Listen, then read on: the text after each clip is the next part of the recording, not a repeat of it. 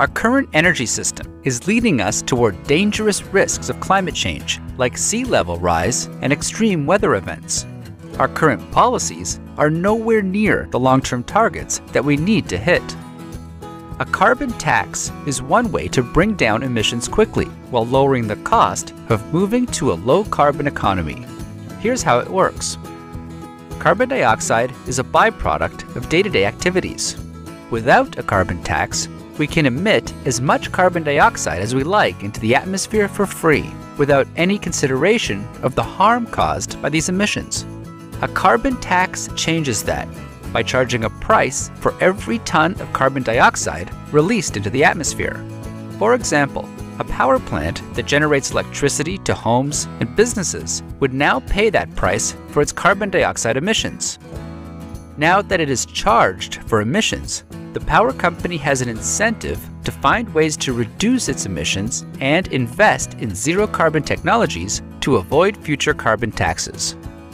Consumers have an incentive to reduce their electricity use to avoid paying the tax, which is incorporated into their electricity prices.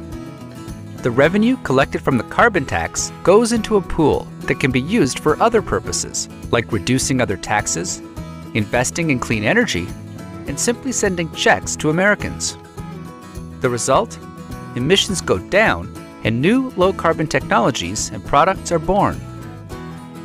Designed right, a carbon tax can help us avoid dangerous impacts of climate change at a much lower cost compared to alternative policy options. But designing a smart carbon tax requires policymakers to make important decisions, such as setting the carbon tax rates at the right level to ensure emissions reductions and minimal effect on energy consumers and on the economy. Choosing which activities that produce emissions to tax and which not to tax. Choosing how to allocate the revenue in a way that benefits the economy and the environment and is fair to all Americans. Deciding which policies are well suited to exist alongside a carbon tax and which are not. The Columbia University Center on Global Energy Policy and its partners analyzed a carbon tax policy that would start at $50 per ton of carbon dioxide emissions and increases by 2% annually. Here's what we found emissions fall by about 40% below 2005 levels and 25% below where the US is currently on track for in 2030.